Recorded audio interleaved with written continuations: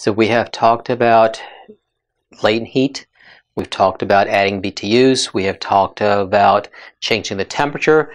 We have talked about how by increasing the pressure, you have made a vapor hotter without adding any heat to it.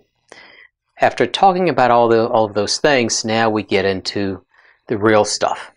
Because all of that will come into play now when we start talking about the four parts of the refrigeration system.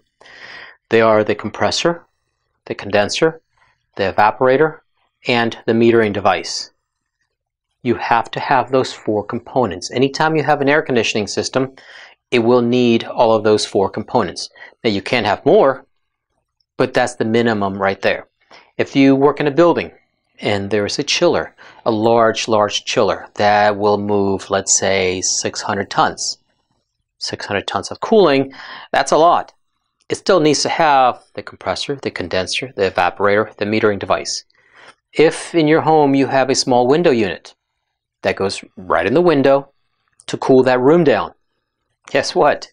It has the same four components, the compressor, the condenser, the evaporator, and the metering device. It makes no difference. You got you have to have those four. So if you understand one, you will be able to understand the other. And that's what I'm trying to do, is to get you to understand what happens in there and how it works so you can see how it works in a small one and how, how it works in a, one of those big giant chillers. Now let's talk about those four components again. I mentioned the compressor. What is the purpose